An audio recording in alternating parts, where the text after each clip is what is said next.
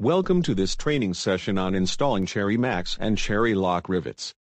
Cherry Max and Cherry Lock are commercial names for self-plugging mechanical lock blind rivets, as are Olympic Lock and Huck Lock. The procedures and application of these rivets sometimes vary. In this session we will specifically look at the differences between Cherry Max and Cherry Lock.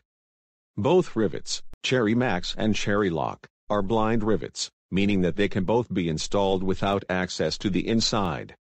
The Cherry Max rivet is used on thin materials that might be damaged by other rivet processes. Cherry Max rivets can be installed using non-cherry tools, making it somewhat more popular.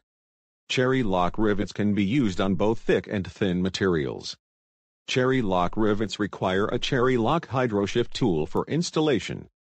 The tool is double action and sets the locking collar of the cherry lock.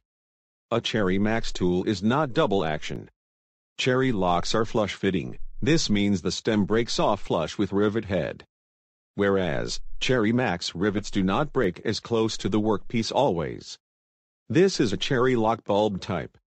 In conjunction with the unique residual preload developed by the high stem break load, its proven fatigue strength makes it the only blind rivet interchangeable structurally with solid rivets. Here is what a cherry lock wire drawn type looks like. Wire draw rivets are locked spindle flush fracturing structural rivets with a wide range of sizes, materials and strength levels. This fastener is especially suited for sealing applications and joints requiring excellent sheet take-up. One difference between the cherry lock bulbed and cherry lock wire drawing types is the pulling action. Notice how the shear ring contacts the rivet sleeve as the stem is pulled the shear ring bulbs, or expands the sleeve to secure the rivet. The mandrel or tip of the blind side before the wire drawing rivet is pulled is larger than the inside diameter of the rivet. As the rivet is pulled the larger mandrel fills up the inside of the rivet, making it now too large to pass through the hole. The wire drawing type rivet is designed to give the best hole filling of any blind rivet and as such must be limited to applications where the blind side substructure has sufficient bearing strength to withstand the wire drawing installation loads. Wire drawing type rivets are not recommended for double dimple applications.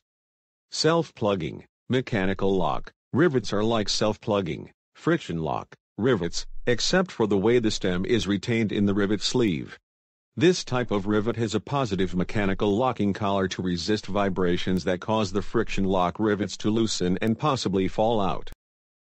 This concludes this training session. We hope you found it useful.